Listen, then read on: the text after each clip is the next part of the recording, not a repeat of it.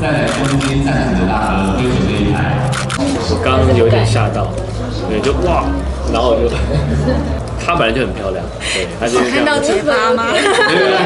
上个月都在宣传，然后一个一个多月嘛，真的比较忙，比较累，然后刚好那时候好几餐饭没吃到，明天吃几餐啊？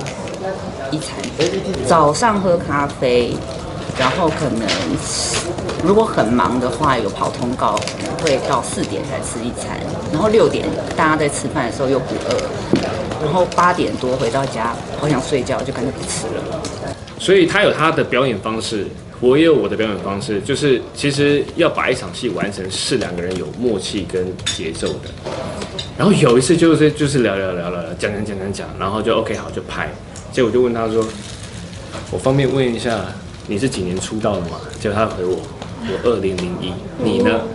我二零一一，所以我就说他是前辈这样子，拍了半年多，我第一次看到杨雅竹对刘仲倒是这么生气，我我真的是吓到。我会先走戏，走完戏之后就会实录，然后通常我们都是先从最松的开始录，录到特写。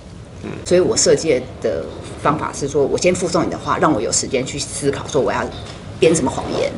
所以我就说我觉得，然后后来才拍他，我我的已经拍掉了。拍他的时候，他说你认为呢？我就跟他沟通，我说你这边可不可以帮我说？我觉得呢，因为我这边已经拍掉了，那你那边的特写要用，那你说你认为呢？可那就跟我设计的，我觉得就是完全没有关联，所以我就跟他跟他说，你可不可以帮我说？我觉得，因为你松的也讲我觉得嘛，所以你紧的可不可以说我觉得？那没有关系啦。然后副导跟导演也觉得还好，无所谓。然后我就我就拍我特的时候，我就直接讲说，你认为呢？因为我没有跟导演还有副导去沟通说，因为我有设计过，对对对，所以他们会觉得那没有差。可是我有跟他说，我有设计过。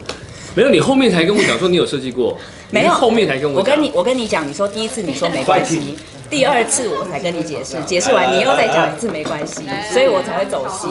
火药味，没有，那我们已经好了啦。对对，十二月到一月拍的时候，我在片场连连连看都不想看他，连连打个招呼，我其实都不想。这我都跟罗平，对，比较多。然后我跟他很少很少对到，然后有对到的话也是我很累了，然后我也不太想说。所以这件事情就是最近才发生的，因为我们最近的戏有慢慢走在一起。啊，以后还会再跟杨琴上山吗？我吗？对啊，我不知道，有时有时候其实他们都会来我家吃饭的，对啊，我自己也会下去。我看小朋友因为他们家有游泳池，就是我跟他去吃饭的时候，我我是有事先跟我老婆说的，嗯，我说哦好，OK，去吃饭。那老婆看到事情会不会觉得，哎，你有点委屈啊？这样？